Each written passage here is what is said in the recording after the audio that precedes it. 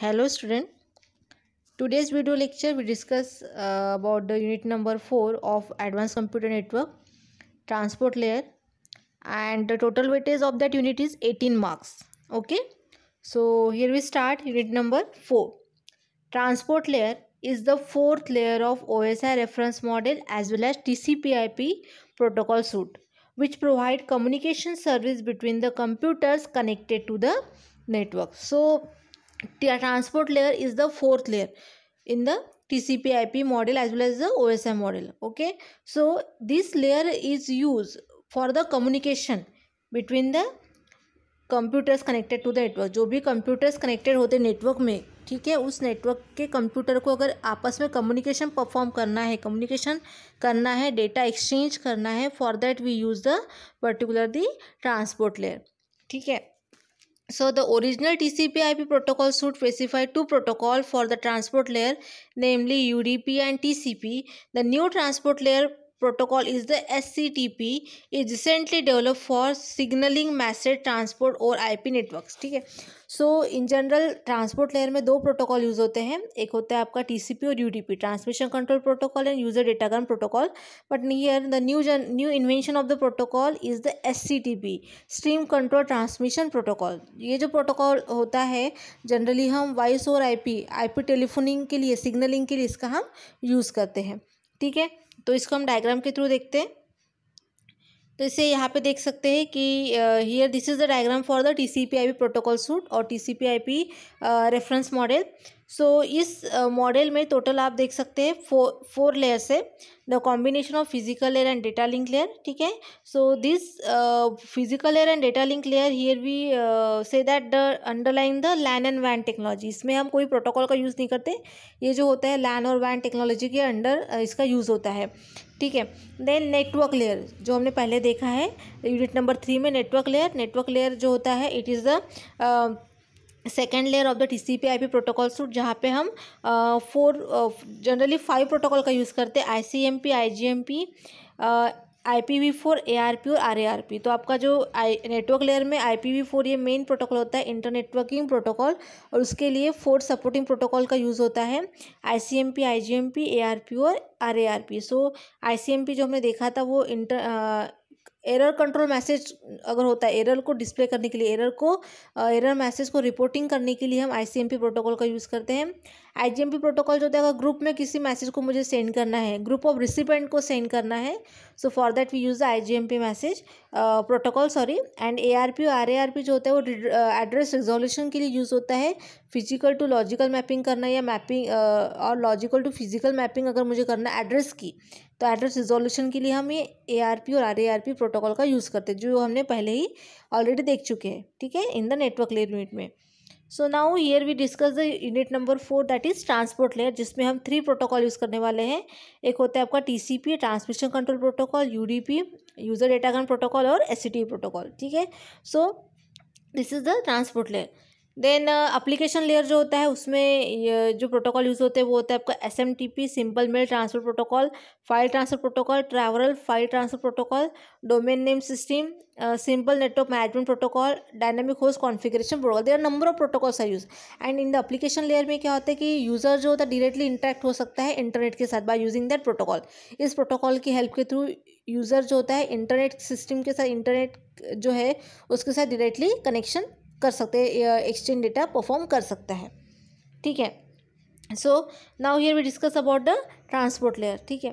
तो जैसे हमने नेटवर्क लेयर में देखा था नेटवर्क लेयर में क्या होता था? नेटवर्क लेयर में हम particular host to host communication perform करना है by using IP protocol IP protocol के थ्रू अगर मुझे host to host host to host यानी क्या होता है? One computer system to another computer system ठीक है? यूज़र का कंप्यूटर को अगर आ, मतलब अगर हम बोलते हैं कि सेंडर के कंप्यूटर को अगर रिसीवर के कंप्यूटर के साथ कम्युनिकेशन करना है तो one physical device to another physical device के बीच में अगर मुझे कम्युनिकेशन परफॉर्म करना है so at that time use the network layer for that here we use the IP protocol ठीक है? सो आईपी प्रोटोकॉल का यूज़ करते थे। लेकिन ट्रांसपोर्ट लेयर में क्या होता है? It is the process to process communication process to process communication मतलब क्या होता है कि एक कंप्यूटर के अंदर जितनी भी नंबर ऑफ़ प्रोसेस होती है, उन प्रोसेस को अगर मुझे कम्युनिकेशन करवाना है, क्योंकि नेटवर्क लेयर क्या करता है? Host to host communication one computer to another computer communication करता है। लेकिन उस कंप्यूटर में भी तो बहुत सारी प्रोसेस होती है ना? तो उन प्रोसेस के बीच में अगर मुझे कम्युनिकेशन करना है सेंडर की एक प्रोसेस को रिसीवर के एक प्रोसेस के साथ अप्लीकेशन के साथ process is nothing but application program अगर मेरे कंप्यू मेरे कंप्यूटर की या मेरे मोबाइल के व्हाट्सअप को अगर मुझे रिसीवर के व्हाट्सअप के साथ अगर कम्युनिकेशन परफॉर्म करना है so for that we use the particular the transport layer okay computer to computer communication के लिए हम नेटवर्क लेयर का यूज़ करते by using the IP protocol और उस कंप्यूटर के अंदर जो नंबर ऑफ़ अप्लीकेशंस होती है, उस अप्लीकेशन को सेंडर की अप्लीकेशन को, अगर रिसीवर की अप्लीकेशन के साथ मुझे कम्युनिकेशन परफॉर्म करवाना है so at that time use the network layer sorry transport layer okay so transport layer में हम देखेंगे first protocol that is the TCP transmission control protocol. So transmission control protocol जो it is a connection oriented protocol ठीक है? जैसे हमने देखा था नेटवर्क लेयर में नेटवर्क लेयर में आईपी प्रोटोकॉल जो होता है, वो क्या होता है?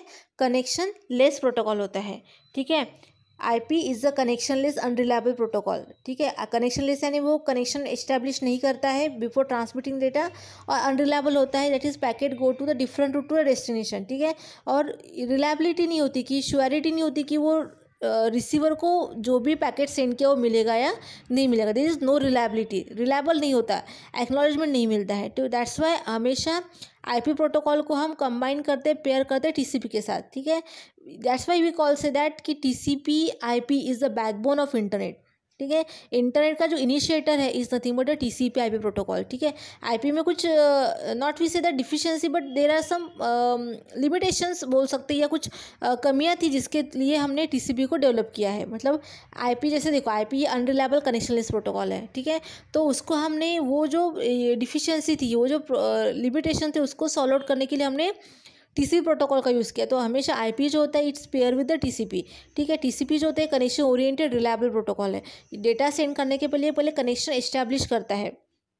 जैसे हम फ़ोन अगर हम टेलीफोन की बात करते हैं तो हम पहले क्या करते हैं नंबर डायल करते हैं देन रिंग जाती है। रिंग जाने के बाद जो रिसीवर होता है, वो फ़ोन को रिसीव करता है देन कम्युनिकेशन होता है।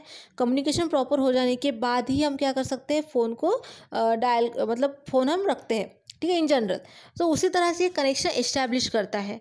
ठीक है? टीसीपी प्रोटोकॉल जो होता है it is a connection oriented protocol first of all it establish a connection then perform the communication is perform between the two system and then terminate the connection ठीक है तो इस तरह से क्या करता है? कनेक्शन ओरिएंटेड प्रोटोकॉल होता है। आईपी जो ये अनरिलायबल कनेक्शन लेस प्रोटोकॉल इसमें कनेक्शन एस्टेब्लिश नहीं किया जाता।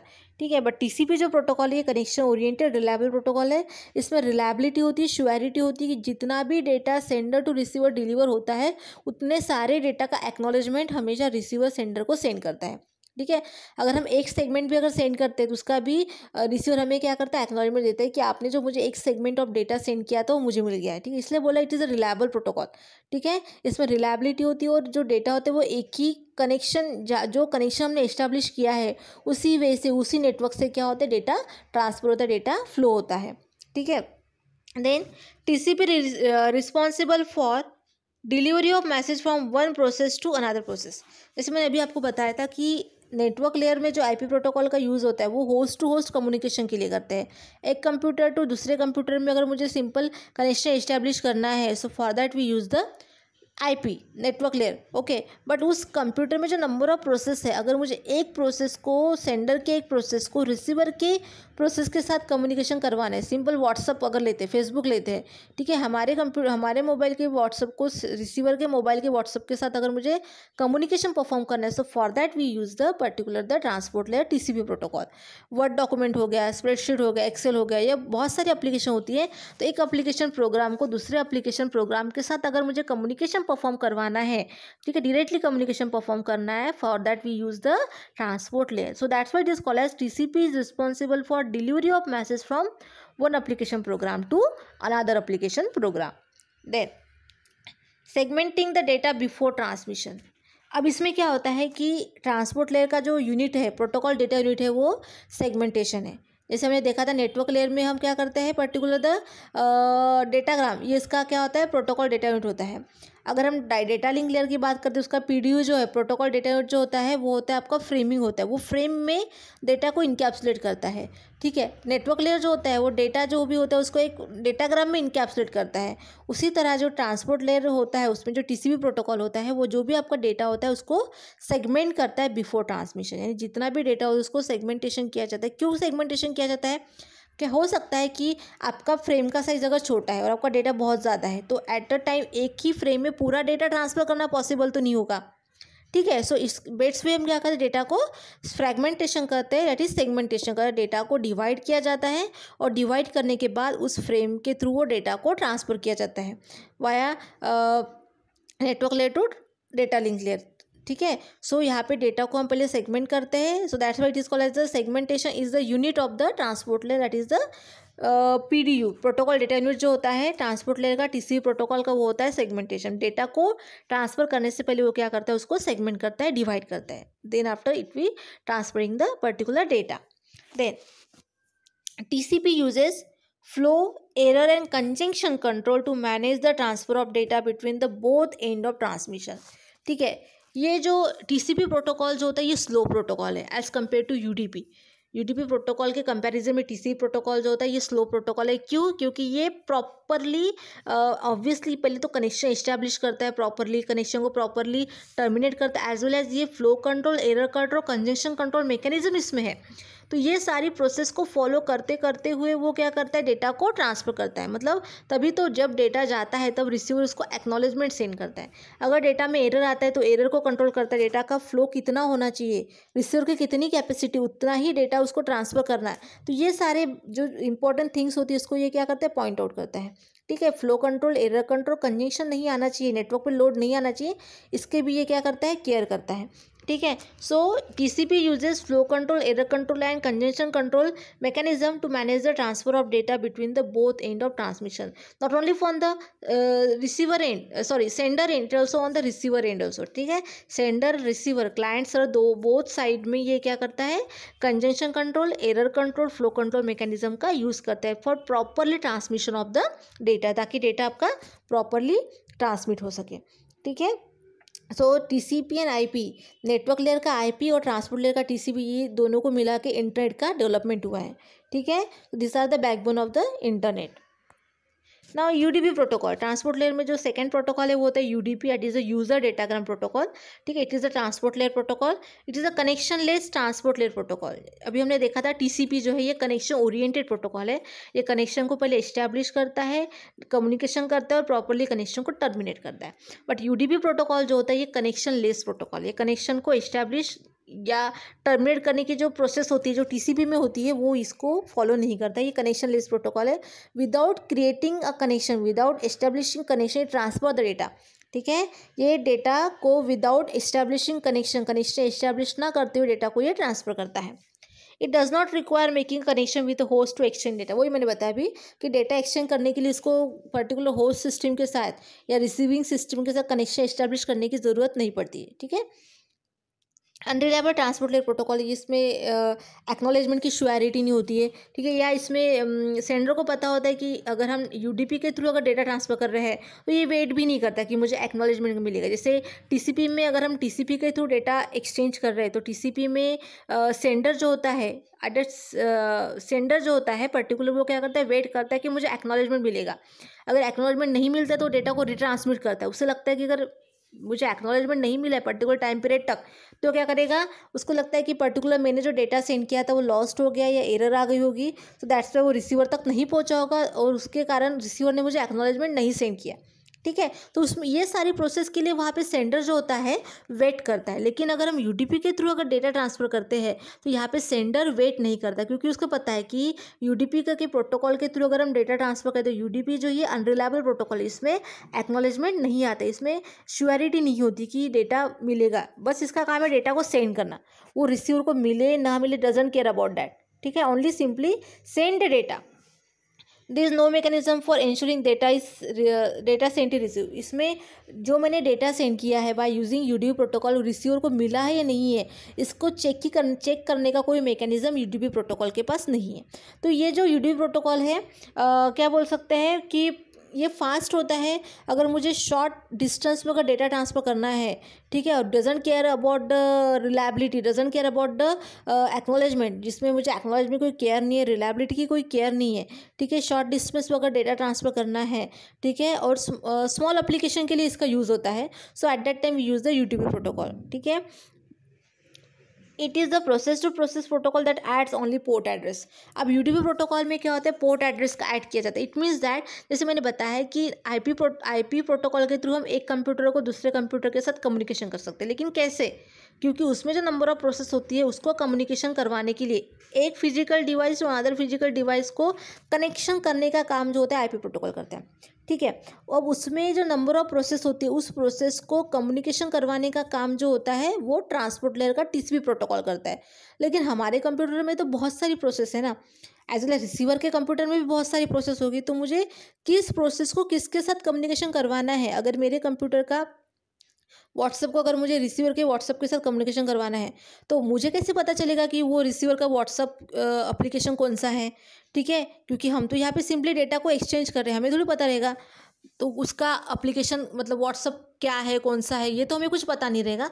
सो फॉर दैट ये we use the port number that is a UDP protocol अब पोर्ट नंबर का क्या होता है? It nothing but the identification naming of each and every process जैसे हर एक पर्सन का नेम होता है, उस नेम के थ्रू उसको हम आइडेंटिफाई करते हैं।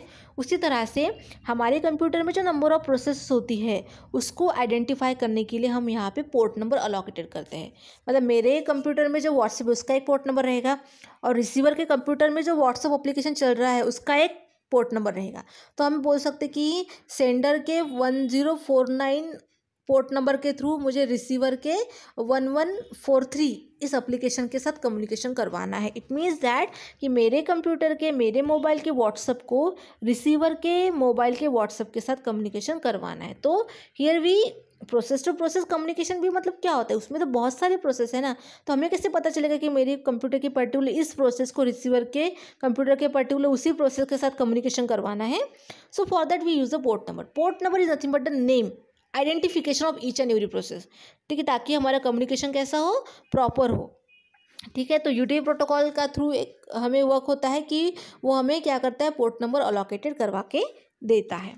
ठीक है ना next one is the stream control protocol that is the stream control transmission protocol this is a new protocol it is a reliable message oriented transport layer protocol ठीक है सो ये orient connection oriented message oriented protocol है reliable है, ये भी connection को पहले establish करेगा प्रॉपरली कनेक्शन को प्रॉपरली टर्मिनेट करते हैं after the communication as well as ये रिलायबल होता है एक्नोलेजमेंट की इसमें श्योरिटी होती है डेटा जो होता है एक प्रॉपर फ्लो से ट्रांसफ़र होता है, ठीक है provide some features of the U D P and T C P ठीक है it is in short S C T P has a mixed और combined feature of T C P and U D P so S C T P specially design for internet application nothing but I P telephony और signalling तो जो भी best feature है T C P और U D P के, उसको combine करके S C T protocol को डेवलप किया गया है. ठीक है? मतलब जैसे यू जो होता है फास्टली डेटा ट्रांसफ़र करता है तो वो फीचर यहाँ पे लिया गया है। टीसीपी जो कनेक्शन ओरिएंटेड रिलायबल प्रोटोकॉल है, वो उसका फीचर्स यहाँ पे लिया गया एज वेल एज जिसमें error control congestion control flow control mechanism भी परफॉर्म किए जाते हैं, जो टीसीपी में होते हैं। So what is call as it is the combine और mixed mixed feature of T C P U T P T C P और यू पी के जो बेस्ट फीचर है, उनको कंबाइन करके एस प्रोटोकॉल का डेवलप किया गया है। It is use for the I P telephoning signalling के लिए इसका हम I P telephony I P signalling का इसका हम यूज़ करते हैं। वॉइस और आई जो बोलते हैं। ठीक है? So this is the introductory part about the transport layer जिसमें हमने तीन प्रोटोकॉल का एक ब्रीफ इंट्रोडक्शन देखा है। T C P U D P and S C T P so I hope you understand this video thank you